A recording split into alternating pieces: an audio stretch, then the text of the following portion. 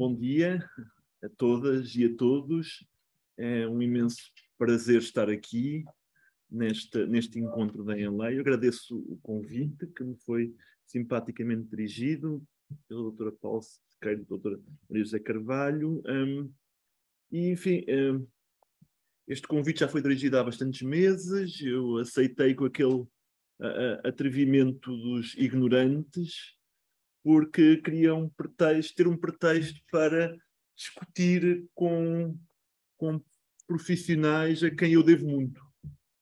E, portanto, de alguma forma, esta, esta minha discussão é também um tributo a, a essas e a esses profissionais que, desde a Biblioteca de, Municipal de Penedono, descobri que não faz parte da Rede Nacional das Bibliotecas Públicas, enfim, uma, uma pequena biblioteca que resultou do espólio, em parte legado pela Fundação Carlos Gulbenkian, até à, à biblioteca do Centro Norte-Sul do Centro de Estudos Sociais, passando por outras bibliotecas, particularmente universitárias, uh, até, enfim, à, à, construção da minha própria biblioteca, porque esse é um dos pontos que eu quero sublinhar. A existência de bibliotecas públicas é uma condição necessária para a constituição de bibliotecas privadas. E quando se fala da, uh, do efeito económico, como eu irei falar, das bibliotecas públicas, uma das coisas que se deve sublinhar no contexto de, de uma economia desejavelmente mista é que a biblioteca pública tem, sem a biblioteca pública não existiam livrarias, e, e não existia um mercado do livro. Para lá de outros dispositivos, mas eu, eu quero centrar a minha intervenção no livro. Uma das coisas que eu descobri, com alguma surpresa, nesta minha incursão pelo mundo das bibliotecas e os estudos sobre as bibliotecas, é uma certa, um certo pudor, não em falar da economia, mas nos documentos oficiais em sublinhar o livro.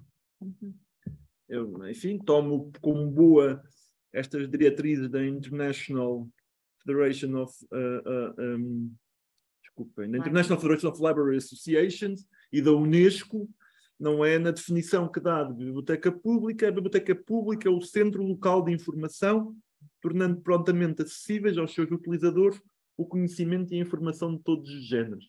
E depois vai por aí fora, é, com um conjunto de princípios, mas, enfim, Uh, o livro aparece muito esparsamente mencionado. e eu, enfim, ingenuamente, na minha, no meu preconceito, um, sempre associei a biblioteca ao, ao, aos livros. E, e, é um bocadinho a partir daí que eu vou falar. Ou seja, uh, a biblioteca pública, como outros serviços públicos, tem um efeito multiplicador, como dizem os economistas keynesianos. Ou seja, a esfera pública da gratuitidade alimenta também cria também, forma também, que é uma coisa que os economistas têm alguma relutância em falar, um público que uh, poderá aceder ao livro de outra forma, de uma forma mais mercantil.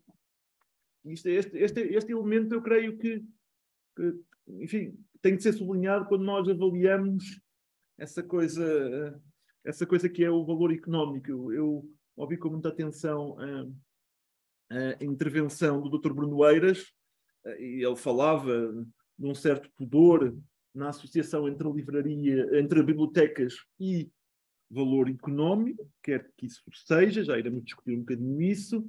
Eu acho, enfim, que não é, não é necessário haver pudor nenhum, porque a economia é suficientemente diversa nos seus meios de constituição para que nós não a associemos necessariamente a, a princípios que são, num certo sentido, contrários ao espírito da biblioteca pública e à missão da biblioteca pública. Pelo contrário, as bibliotecas públicas fazem parte de uma economia bem entendida. Aliás, eu costumo dizer, a, a principal, eu não sou eu que digo, é uma grande economista chamada Joan Robinson, a principal uh, vantagem de estudar economia, economia, estudar economia serve para não ser enganado pelos economistas, para não ser enganado pelos economistas. E eu venho a alertar-vos para alguns cuidados que é preciso ter com com os, os meus colegas economistas. Uh, e faço usando dois, dois conceitos eu intitulei a minha apresentação de Economia Política e Moral das Bibliotecas Públicas para poder ser o mais genérico possível. Um, e, por economia política, o que é que, em que é que eu estou a pensar? Bem, estou a pensar logo, também ainda mais uma vez, pegando no serviço da biblioteca pública, nesta ideia. Uma biblioteca pública é uma organização fundada, sustentada e financiada pela comunidade. Portanto, temos aqui uma certa forma de economia política. Há aqui uma, uma lógica, um sistema de provisão, em que um acesso a um bem, a um serviço particular, é feito através uh, de um determinado arranjo institucional de repartição de recursos. Portanto, a biblioteca pública é logo uma organização que é financiada de uma determinada forma, em que o acesso a um determinado bem é feito através do reconhecimento do princípio da não exclusão pelo preço, ou seja, da gratuitidade. Isto é já aqui um elemento de economia política bastante importante. O acesso aos bens não se faz todo da mesma forma, nem responde perante os mesmos princípios e valores. E logo aí temos também uma noção, enfim, uma noção de economia moral. Moral no sentido de que, do reconhecimento que as instituições que organizam o processo de provisão dos bens e serviços necessários à vida, é essa a noção de economia substantiva que eu parto, sendo, no fundo, emanações de sentido e propósito humanos, como nos ensinou um economista político chamado Carlo Polanyi, têm fortes influências naquilo que os indivíduos vão poder ser e fazer com as suas vidas. Ou seja, nos seus hábitos e no seu caráter. Ou seja, os arranjos institucionais que organizam a economia nunca são neutros. E as bibliotecas certamente não são neutras, embora, obviamente, se fundem num princípio que tem sido, enfim, progressivamente explicitado, uh, de isenção. Mas isenção não é a mesma coisa que neutralidade. Podemos depois discutir isso. Não é a mesma coisa que neutralidade, porque as bibliotecas não são neutras porque perseguem fins muito determinados.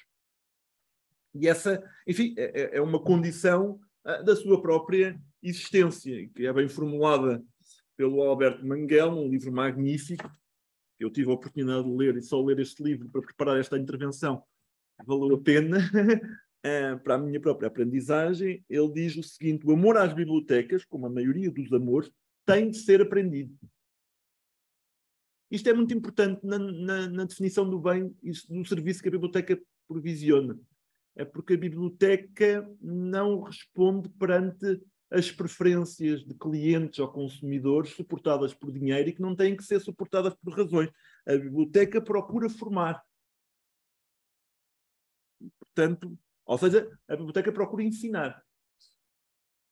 Ninguém que entre pela primeira vez numa sala feita de livros pode saber instintivamente que comportamento ter, o que se espera, o que se promete, o que é permitido. Podemos ser dominados pelo horror, por causa da barafunda ou da vastidão. E quem é que nunca se sentiu intimidado com a entrada numa, numa, numa biblioteca? E isso não é necessariamente mau.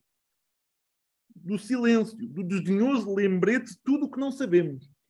É uma sensação que eu, que eu experimentei na, na, na, na biblioteca do, do Instituto Superior de Economia e Gestão. Da vigilância. E parte dessa sensação esmagadora pode perdurar, mesmo depois de aprendermos os rituais e as convenções cartografarmos o território, concluirmos que os nativos, as bibliotecárias e os bibliotecários, são amigáveis. Um, mas ao mesmo tempo, ao mesmo tempo que, ele, que o Manguel frisa esse aspecto de formação, ele também diz outra coisa, que, é, que está em tensão com esta, não é? Que, e à qual as bibliotecas hoje respondem muito. O poder dos leitores não reside na sua capacidade de reunir informação, na sua aptidão para ordenar e catalogar, essa é a função dos, dos funcionários, dos bibliotecários, é o seu ethos, mas no seu dom de interpretar, associar e transformar o que lê. Ou seja, o utente da biblioteca, como serviço público, não cliente, já irei falar disso. Uma tese de doutoramento tive a oportunidade de ler sobre, sobre a satisfação do cliente de serviços de informação, as bibliotecas públicas na região centro, uma tese muito interessante de doutoramento de Ciências de Informação, embora com um título equivocado. Um, o, portanto, o leitor tem, tem agência, não é? E, e tem agência, isso é importante, porque e essa agência é importante. Ao mesmo tempo, a biblioteca, isto também é outra ideia do Manguel, que é muito próxima, aliás, de uma ideia mais convencional de economia. A economia, não é? Uma definição convencional é a ciência da escolha entre recursos que são escassos e fins que são ilimitados. E a biblioteca, num certo sentido, tem essa dimensão. Ele diz a certa altura: toda a biblioteca inclui rejeito. Toda a biblioteca é, por definição, resultante de uma escolha. Uma escolha racional, ou seja, suportada por razões. E de âmbito necessariamente limitado. E toda a escolha exclui outra escolha. A que não foi feita. O ato de ler tem infinitos paralelos, diz ele provocatoriamente, com o ato de censurar. Fim de citação. Ou seja, as bibliotecas têm de fazer escolhas, não é? Entre, particularmente quando estamos a falar de objetos físicos, como livros ou outros suportes, em papel, uh, as bibliotecas têm de fazer escolhas, também têm de fazer escolhas na gestão de bases de dados, têm de fazer escolhas, enfim, têm de sempre fazer escolhas. Ou seja, a biblioteca, de alguma forma, partilha esta, esta ideia de, com a ciência económica convencional. É um mundo de escolhas. Mas isto não, esta definição da ciência económica convencional não nos diz nada. Quem é que faz essas escolhas? Como é que elas são feitas? Com que critérios? Em que modos de organização? Isso tudo está por, está por, por responder, não é? E as bibliotecas, enfim, num certo sentido, as bibliotecas públicas, não é? Num certo sentido, fazem uma escolha muito clara, não é? Elas são um serviço público, parte de uma infraestrutura pública que fornece um bem público. E uh, os economistas, quando falam de bens públicos, caracterizam-no de duas formas. Um bem é público se ninguém puder dele ser excluído e se o seu consumo for não rival. Ou seja, o consumo por parte de alguém não diminui o consumo por parte de outrem. E estas duas características, de alguma forma, caracterizam um bem público, a economia, na economia convencional. Na realidade, embora estes critérios sejam aparentemente técnicos, como tudo na economia, a economia é, uma, é um ramo da filosofia moral que se esconde por trás de uma linguagem pretensamente neutra para eh, disfarçar aquilo que são escolhas. Na realidade, nunca nenhum bem é puramente público nós podemos definir critérios de exclusão se politicamente entendermos. Nós podemos excluir, e aqui o ato de censura, podemos excluir, através de vários mecanismos, ah, uma certa comunidade o acesso a, um conjunto de bens, como, como o livro ou a informação, noutros suportes, incluindo digitais. Ah, podemos excluir pelo preço. É? Eu digo sempre ao meu filho, nas duas experiências, não é? Para o ensinar também um bocadinho como é que a economia se organiza, a diferença entre uma biblioteca e uma, e uma livraria. É um magnífico exemplo. Na livraria, nós acedemos à livraria, enfim, podemos consultar os livros, outros materiais, depois a coisa como jornais começa a ser mais complicada, e a consulta também é uma consulta particular, mas em última instância o nosso acesso à leitura é mediado pela nossa capacidade, disponibilidade para pagar. Uma biblioteca eh, vale o princípio da gratuitidade. Portanto, de alguma forma, a nossa relação numa livraria é uma relação, de facto, baseada em valores de mercado. Não se resume a esses valores, pode não resumir-se a esse valor. Podemos estabelecer, por exemplo, uma relação de confiança com o livreiro, mas em última instância, os valores são valores de mercado. Uma biblioteca pública, não. Uma, uma biblioteca pública baseia-se na ideia, e está muito presente, de um serviço que satisfaz uma necessidade. Não é uma preferência suportada por dinheiro. É uma necessidade que tem de ser politicamente reconhecida e, portanto, financiada. E é aí que entra depois a discussão sobre os recursos, não é apenas aí mas tem de ser financiada. E, portanto, em que uma comunidade, um Estado, uma autarquia, o Estado Central, o poder local, enfim, em várias formas de organização, uma, uma organização não governamental, enfim, uma, uma, uma associação, decide instituir um princípio de provisão, é baseado na não exclusão. e, num certo sentido, organizar a não rivalidade. Não é? Na medida em que as bibliotecas se baseiam na possibilidade de, olhando para um livro como objeto físico, se aquele livro não está disponível no momento, ele há de estar, porque ele será devolvido pela pessoa que eventualmente o tomou de empréstimo. E, portanto, as bibliotecas organizam uma relação de confiança e, portanto, de reciprocidade. Num certo sentido, de dádiva e contra-dádiva. É? E de coprodução. Que os utentes da biblioteca também fazem da biblioteca o espaço que ela é. E, portanto, coproduzem. coproduzem. Muitas vezes este, este aspecto não é suficientemente sublinhado nos serviços públicos. Eles são coproduzidos.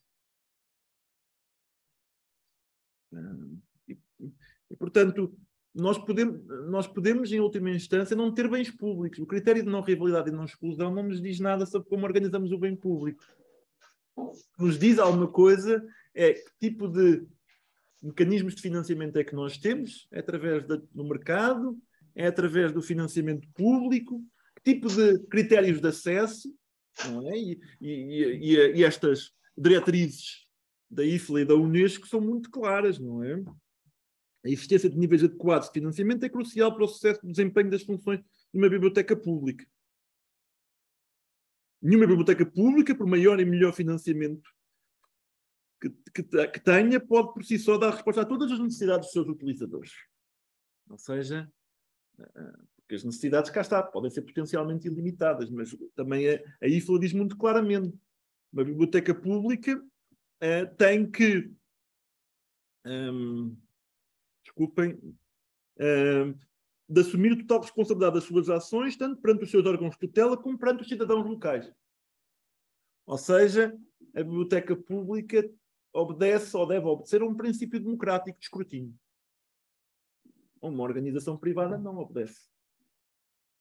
Ou seja, um mecanismo, um mecanismo aqui que se privilegia não é um mecanismo uh, de saída, embora os leitores possam abandonar uma biblioteca, é um mecanismo de voz. Ou seja, é um mecanismo de, um, de uma forma de escrutínio público.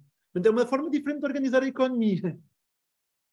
E, portanto, eh, já estamos a falar de economia eh, quando falamos de bibliotecas, mas falamos de outra forma de organizar a economia.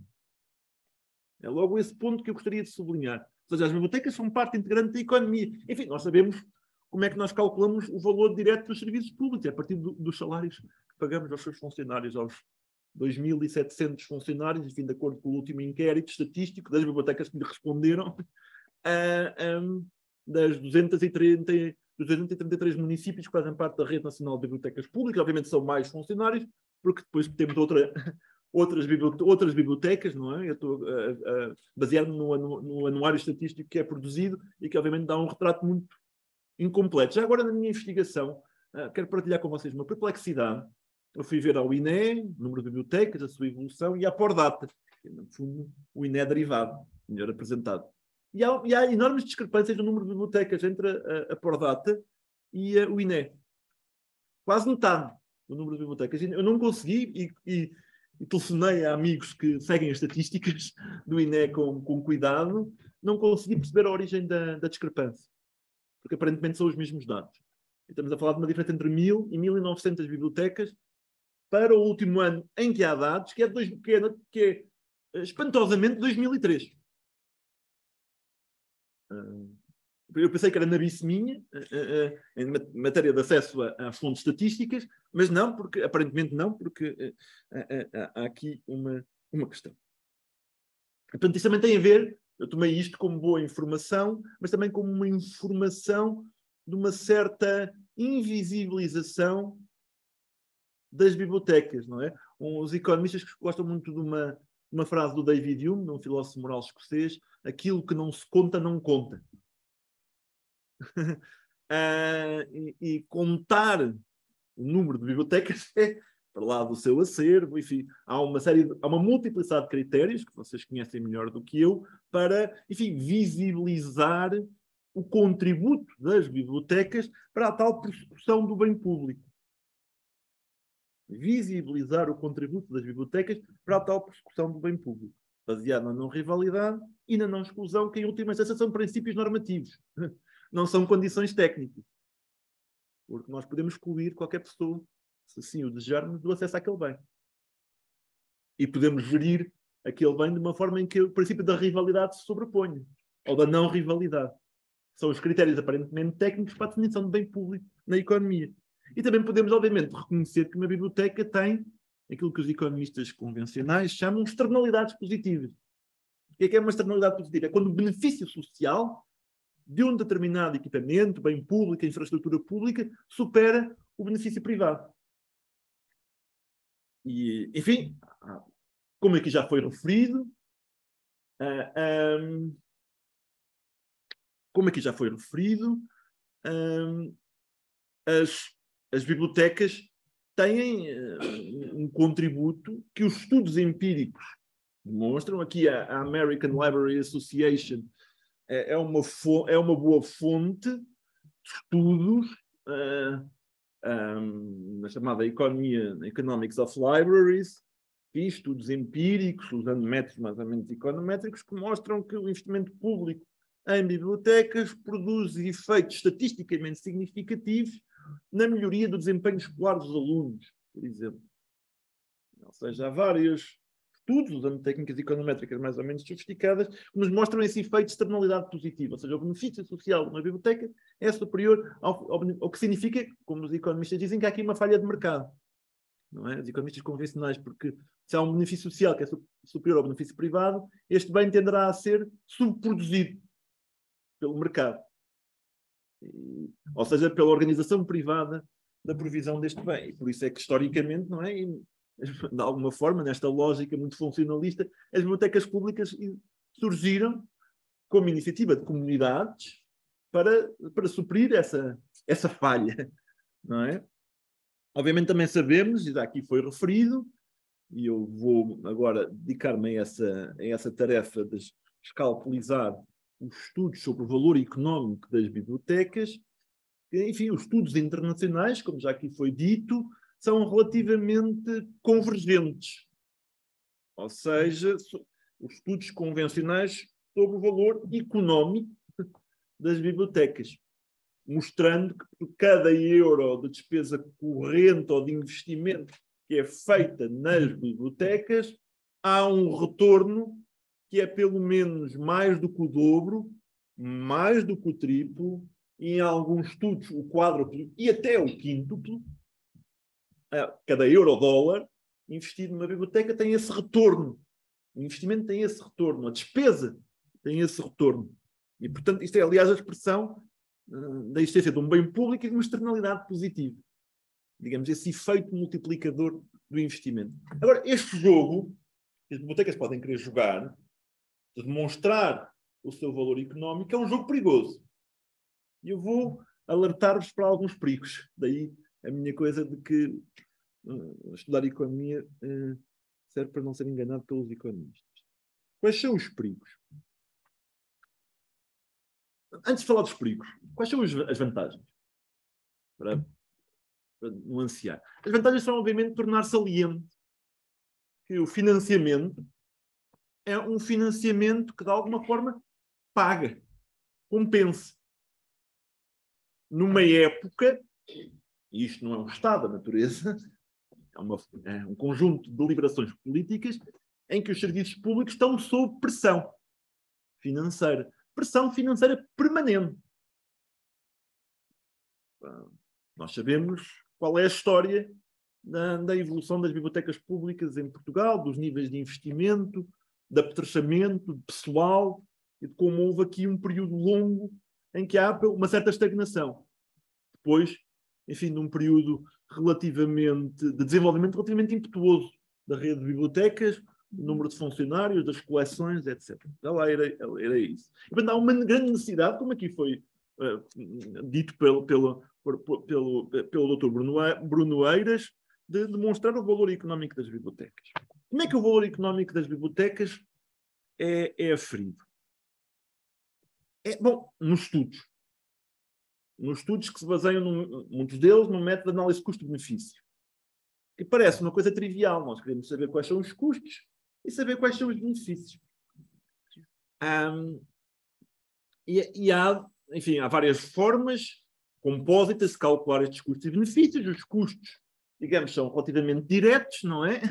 Nós sabemos quanto é que é gasto na biblioteca uh, uh, um, e sabemos uh, calcular de alguma forma os custos.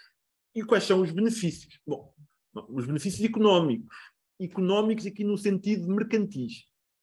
Ou seja, medidos com uma métrica pecuniária. E como nós já vimos, há outras formas de organizar a economia em que, envolvendo dinheiro, na realidade o serviço não é provisionado de forma mercantil. Então, há o benefício direto da biblioteca, económico, pelo emprego que cria. Estamos a falhar milhares de postos de trabalho que contribuem para o PIB, Produto Interno Bruto. Há muitas vezes esquece isso, como se o Estado fosse aqui uma espécie de servidor, o Estado, aqui no sentido amplo, os serviços públicos, nos vários graus da administração, fosse assim uma espécie de servidor, não queria, não queria valor. Portanto, há esse efeito de benefício, incluindo do investimento público que é feito nas bibliotecas, como já aqui foi sublinhado, não é? Quando se constrói ou renova uma infraestrutura pública, esse investimento tem efeitos multiplicadores diretos. Não é? é preciso construí-lo, comprar os materiais, contratar a empresa de construção civil, fazer o projeto, a empresa de arquiteto, isso tudo tem, deixa um astro, tem um benefício económico direto que é relativamente incontroverso e fácil de calcular. Quando é que é, começa a parte controversa? É quando nós entramos nos métodos duros da análise custo-benefício, ou seja, da chamada avaliação contingente, contingent valuation. E uh, os estudos feitos pela American Library Association são muito claros, enfim, vários estudos, uh, mais ou menos uh, regionais, locais, que têm sido feitos, e, e não só, por encomenda, em que nós perguntamos às pessoas quanto é que estariam disponíveis a pagar por aquele serviço. Oh, uh, willingness to pay, disponibilidade para pagar.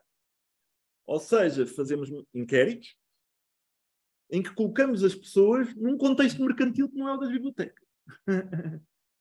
é. Também, podemos, também podemos fazer um exercício que não tem os mesmos valores, por isso há aqui uma enorme há uma enorme contingência. Um, para quem quiser saber uh, o que é, que é a análise custo-benefício, enfim, em, sendo juiz em causa própria, uh, remeto para, meu, para, para, um artigo que escrevi na Revista Crítica de Ciências Sociais com Ana Cristina Costa, chamado O Nexo Comensurabilidade Mercadorização e as limitações da análise custo-benefício como guia para a ação dos poderes públicos. É precisamente sobre o método de análise custo-benefício, não é aplicado às bibliotecas, mas é em relação aos seus riscos. E, e uma das coisas que, que os estudos mostram é que, enfim, as pessoas podem ser inquiridas sobre a disponibilidade para pagar, para ver um certo projeto ou, ou, ou política aprovado, ou seja, neste caso é quanto é que estaria disposto a pagar por este serviço que a biblioteca presta, ou então quanto é que estaria disposto a receber para se sentir compensado pelo efeito do encerramento da biblioteca. E, e, e, o enquadramento destas duas perguntas, que aparentemente são iguais e que dão o mesmo valor, é profundamente diferente. Porque as pessoas têm sentidos de perda. E, aliás, o que as pessoas muitas vezes exibem é uma enorme relutância em responder pecuniariamente a esta questão. Porque as pessoas têm um modo de avaliação dos serviços públicos que não passa necessariamente por lhes dar um preço. e, e, portanto, não é a forma como avaliam. Não é através do valor de troca. Do standard pecuniário é do valor de uso. E, e o valor de uso não tem necessariamente um preço. Ou seja, não, é do, não se pode comensurar, que é aquilo que os economistas convencionais muitas vezes procuram, que é reduzir todas as instituições, experiências humanas, bens e serviços a uma métrica pecuniária, para atribuírem precisamente um, um certo valor dito económico, ou seja, um preço final. Na medida em que não há mercados para as bibliotecas, vai-se estimar tentando criar o contexto, um enquadramento mercantil, quanto é que as pessoas estariam dispostas a pagar por aquele serviço, para ter o serviço ou para serem compensadas pelo facto de não o terem. Isto é o método contingent valuation, que é altamente problemático. Mas, sendo problemático, enfim, podemos ter, podemos de alguma forma, uh, não é? Se, seguir a máxima, não é? Uh, do cinismo, não é? Uh, saber o preço de tudo e o valor de nada. podemos fazer essa opção, mas é uma opção normativa e política. Tem um custo, mas pode ter um, um benefício, aqui no sentido da nossa deliberação racional. Não é? Estrategicamente, uh, o serviço, quem dirige politicamente as bibliotecas, seja ao nível municipal, seja ao nível central, pode estar disponível para fazer esse, para participar nesse jogo, para demonstrar um retrato tão completo quanto possível qual é o valor de mercado, eu prefiro chamar assim, de uma biblioteca pública. Não apenas através da avaliação dos custos e benefícios diretos, do ponto de vista mercantil, mas do, do ponto de vista pecuniário, mas também avaliando, digamos, a totalidade dos serviços e da sua valorização. Ora, esta valorização é mercantil e suporta-se na ideia de que as preferências do consumidor são soberanas. Ou seja, a ideia da soberania do consumidor. Quando a biblioteca, como toda a literatura que eu pude consultar, biblioteca pública que eu pude consultar, se baseia na ideia de que o cidadão, o utente, não o consumidor cliente, tem de ser educado, porque o acesso àquele bem e a sua valorização é um processo de longo prazo. Eu diria mesmo, a avaliação das bibliotecas só se pode fazer retrospectivamente através do desenvolvimento de um hábito e da inscrição de uma tradição, ou seja, numa estrutura narrativa. Por isso é que a literatura é muito importante. Numa estrutura narrativa, ou seja, é só autobiograficamente, em última instância, que eu consigo avaliar o papel das bibliotecas na minha própria formação. Enquanto estou nesse processo, eu não tenho essa capacidade, porque estou precisamente a desenvolver essa capacidade e muito menos a capacidade ou a disponibilidade para estar num contexto mercantil para avaliar pecuniariamente qual é o valor desse serviço. Mas a hipótese heroica de que se parte nos estudos económicos sobre o, impacto dos serviços públicos é um bocado a, a, ideia de que o consumidor soberano tem a capacidade de avaliar pecuniariamente o serviço que é prestado ou o bem que é, ou o acesso ao bem.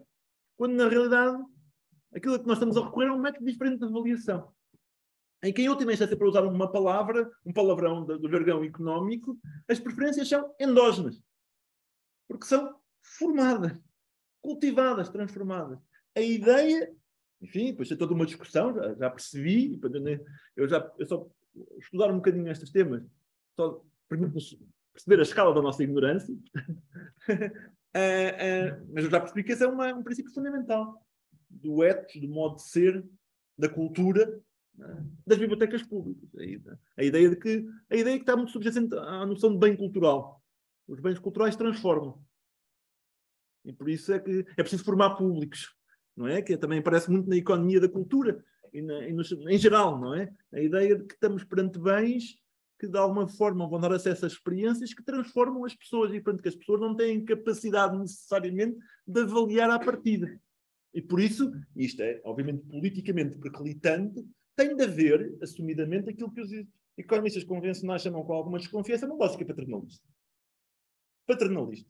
Mas que, na realidade, enfim, isto tem muito má, muito má imprensa, o termo é pesado, uh, uh, mas, na realidade, é, é esta tensão que o Manguel expõe entre, por um lado, o reconhecimento que é preciso um processo de aprendizagem, e, por outro lado, o reconhecimento de que o sentido das bibliotecas é feito em coprodução com os utentes, que são com os públicos, não é? Da, da biblioteca, que são heterogéneos. Heterogéneos socialmente, heterogéneos economicamente, heterogéneos em termos de escolaridade, formação, etc.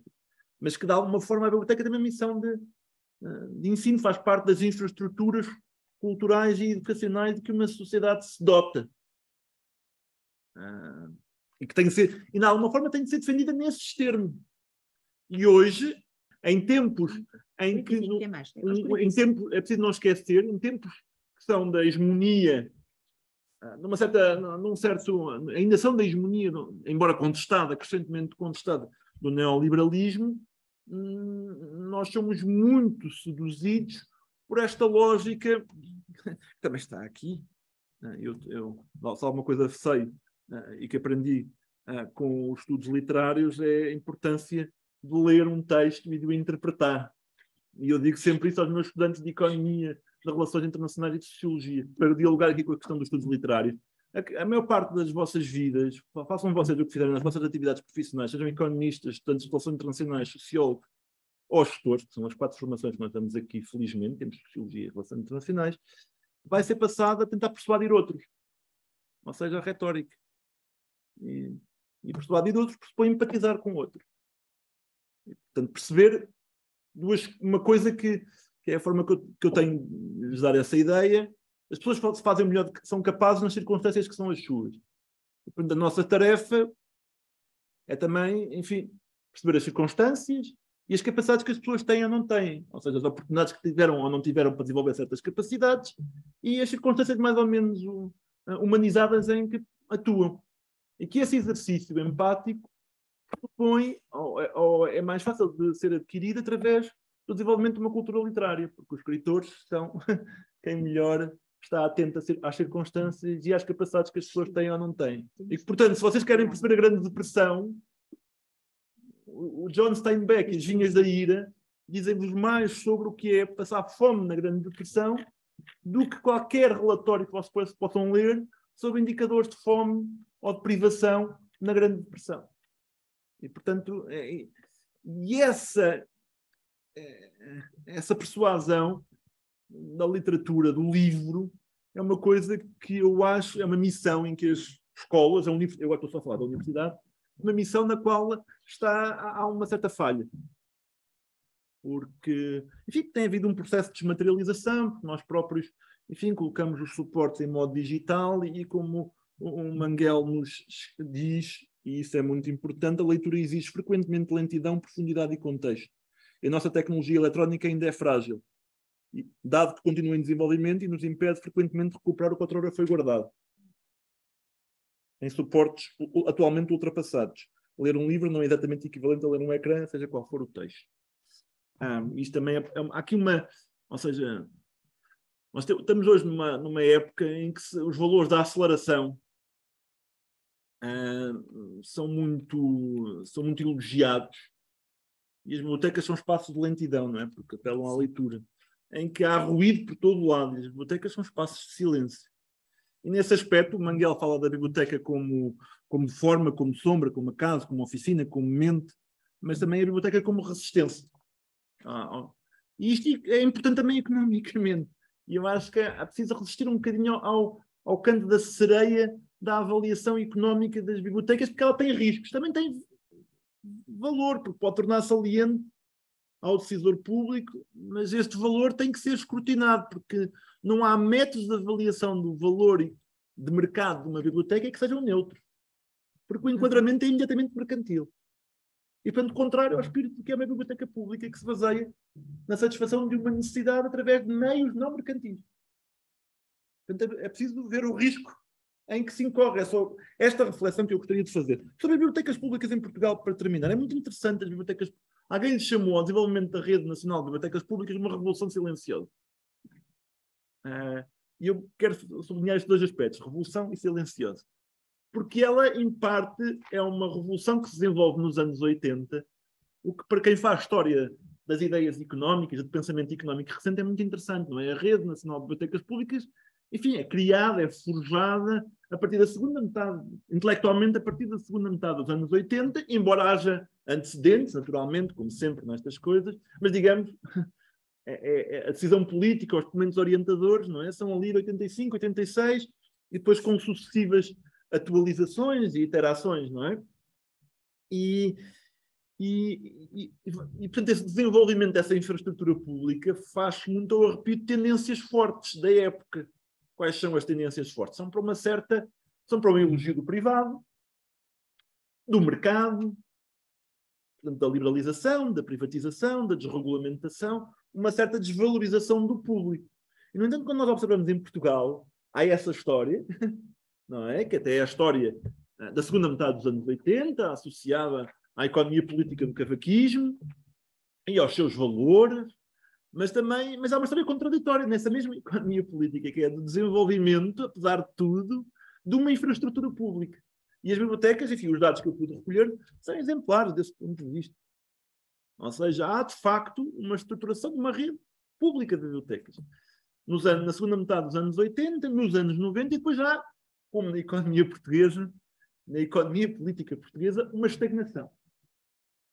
Que é parte, é impressionante como as bibliotecas acompanham o ciclo da economia política portuguesa na segunda metade dos anos 80, em contratendência, mas há outras contratendências, na infraestruturação pública do território na área mais vasta dos serviços culturais, é? rede de teatros, na área mais vasta dos serviços públicos, hospitais, centros de saúde, na, nas escolas públicas, nós podíamos fazer todo um, um retrato. Aliás, os níveis de investimento, os, in, os melhores indicadores, são para a rede de bibliotecas escolares e mostram um grande investimento nos anos 90 e depois um colapso do investimento público nos anos 2000, que é a história do país que nos leva hoje a ter os mais baixos níveis de investimento público em porcentagem do PIB da União Europeia. E uma das mais baixas taxas de emprego público da OCDE. Ou seja, dos países desenvolvidos. E as bibliotecas públicas são, sabemos pelos dados, enfim, há uma estagnação, uma, um envelhecimento do, do, do corpo dos bibliotecários. Uh, uh, também há uma certa renovação, mas essa nos últimos anos, mas a renovação não compensa as saídas, como não compensa em nenhuma área da administração pública, e por isso é que nós temos os mais baixos níveis de investimento público no PIB da União Europeia e da OCDE. E isto cria aqui uma urgência, percebo, nas bibliotecas, de demonstrar o valor económico no contexto de escassez induzida e, e, portanto, de concorrência entre vários serviços públicos que estão em situações de relativa penúria. Só que isto cria aqui uma dinâmica complicada. Nós podemos querer percorrer todo este caminho. Então, se percorremos todo este caminho, começamos a, a, a, avaliar as bibliotecas públicas individualmente, uma lógica de concorrer. Quem é que cria o maior valor económico? Bem, quem vai criar o maior valor económico são as maiores bibliotecas, as maiores bibliotecas nos sítios mais ricos. Por definição. Portanto, e depois queremos, e depois queremos ir, a, ir a, a, os guidelines são claros, não é? O bibliotecário, o bibliotecário, os serviços da biblioteca um, têm que ser, como é que é a formulação que eles usam? É aconselhável que os bibliotecários sejam criativos na procura de fontes externas de financiamento da biblioteca pública. Até podem ser incentivados de várias formas, o New Public Management, que é a aplicação da lógica neoliberal aos serviços públicos. Falo e está aí pujante. No entanto, não devem aceitar financiamentos de uma determinada fonte quando tal põe em causa o Estatuto da Biblioteca como instituição ao dispor de todos. e a própria, a própria Unesco IFLA percebe o, o, os perigos do caminho, deste caminho. Certas organizações comerciais, por exemplo, podem oferecer financiamento subordinado a condições que ameacem a natureza universal dos serviços oferecidos pela biblioteca. E não é só a natureza universal. Não é só a natureza universal do serviço, é a própria lógica do serviço e dos critérios, por exemplo, da aquisição de obras. Nós sabemos como as bibliotecas públicas alimentam um público depois alimenta o mercado editorial, mas o mercado editorial, com os seus enviesamentos, também se reflete nos catálogos das bibliotecas, bibliotecas públicas, refletem muito como eu já aqui mostrei, as dinâmicas do entorno social, político e económico onde se move. E são, aliás, um retrato, um ponto de entrada muito interessante, descobri eu, para analisar a evolução da economia pública, da economia pública e política portuguesa. Porque elas contam, na sua expansão e estagnação, uma história muito semelhante à história de expansão e estagnação da economia portuguesa. E, sobretudo, de um motor que sempre foi um motor muito importante para a economia portuguesa, que foi o investimento público e o emprego público. Aliás, foi assim que se construiu a economia política portuguesa a seguir ao 25 de Abril. Não é? Os dados da Pordata e do INE, com as suas discrepâncias, mostram-nos um estado calamitoso eh, em que estava o país em 1974, todo do ponto de vista da infraestruturação de serviços públicos, incluindo as bibliotecas. É? E, aliás, todos os historiadores da leitura pública em Portugal, eh, Daniel Mel, por exemplo, sublinha esse aspecto da importância da, da, da Revolução Democrática na expansão de uma cultura de leitura pública que antes 74 estava muito dependente, e isso também é um aspecto muito interessante, das especificidades do desenvolvimento português, ah, daquilo que nós podemos chamar hoje, que chamamos hoje o filantrocapitalismo. Basicamente, a, a, a, as atividades muito importantes da Fundação Carlos Gulbenkian, que retrospectivamente eu, eu coleciono familiarmente e fora da minha família histórias da, do reconhecimento uh, à, à, Fundação Carlos Gulbenkian por via do serviço, uh, uh, incluindo as bibliotecas itinerantes, da Fundação Carlos Gulbenkian. Esse reconhecimento, lá está, é feito sempre a posteriori. E, portanto, os métodos de avaliação das bibliotecas são lentos. Isso leva-me à invasão, e finalizo, a, a, aos perigos. Eu sou muito favorável a inquéritos, inquéritos de satisfação, mas eu acho que devem ser vistos com with a pinch of salt. Uh, porque, enfim, a satisfação do cliente dos serviços de informação não é talvez o enquadramento, embora a doutora Maria Marques, na sua tese de doutoramento de 2012, o faça, e obtenha resultados até bastante interessantes sobre isso, e nos ponha a pensar, mas esta noção de cliente tem, eu acho que tem que ser altamente problematizada. Não é isso que nós e o cliente não tem sempre razão. Já o cliente não tem sempre razão, e muito menos um utente das bibliotecas. Não tem sempre razão. Ou pode ter razões. Essas razões eh, são, são razões que merecem, merecem escrutínio, merecem informação. Ele tem de ser orientado. Um bibliotecário é um mediador. E nós hoje vivemos um ataque às formas de mediação. Em nome de uma cultura de mercado que, na realidade, quer que os mediadores não sejam escrutinados. E os mediadores são as grandes empresas de produção de conteúdos. E as bibliotecas, nesse aspecto, são, são espaços de resistência porque também valorizam a mediação. Ou seja, a, a, a mediação é, é aquilo que faz com que um bem que atualmente é super abundante, a informação, possa ser acessível de uma determinada forma. Ou seja, educar os públicos para a superabundância de informação, que não é produtora de conhecimento, como sabemos, pode ser produtora de todas as formas de obscurantismo e de estreitamento. Ou seja, aqui o problema já não é a escassez, é a superabundância. E, portanto, as bibliotecas são absolutamente cruciais nesse aspecto de mediação e têm que ser valorizadas nesse aspecto. Portanto, a minha defesa das bibliotecas é muito tradicional, na realidade. É quando um socialista como eu, no sentido, no sentido filosófico do termo, se pode encontrar com conservadores. Ou seja, valorizar a tradição das bibliotecas como espaços onde se acede ao conhecimento em suportes múltiplos, mas em que o livro é parte fundamental desse suporte, na minha opinião, essencial. Ou seja, usando a linguagem da gestão que eu não gosto, o core business das bibliotecas deve continuar a ser os livros. Um, e a formação para o acesso ao livro que tem como tecnologia um futuro brilhante à sua frente, porque o máximo que as novas tecnologias conseguem fazer é ser imitações, imitações do livro, sem, sem as suas múltiplas formas de acesso e uso e de fruição, eu acho que, tal como os jornais, continuam a ser absolutamente indispensáveis e já agora uh, apelo às bibliotecas, isto é a minha mensagem publicitária, para que e eu tenho visto isso ao longo do país, é a minha pequena queixa em relação às, bibliotecas, às bibliotecas interessadas. As bibliotecas públicas portuguesas subscrevem muitos jornais e põem-nos acessível, colocam-nos uh, de acesso ao público, mas nem sempre subscrevem todos os jornais, sobretudo aqueles que têm menor tiragem e que podem ser interessantes para o público das bibliotecas, nomeadamente a edição portuguesa do Le Monde Diplomático. Muito obrigado.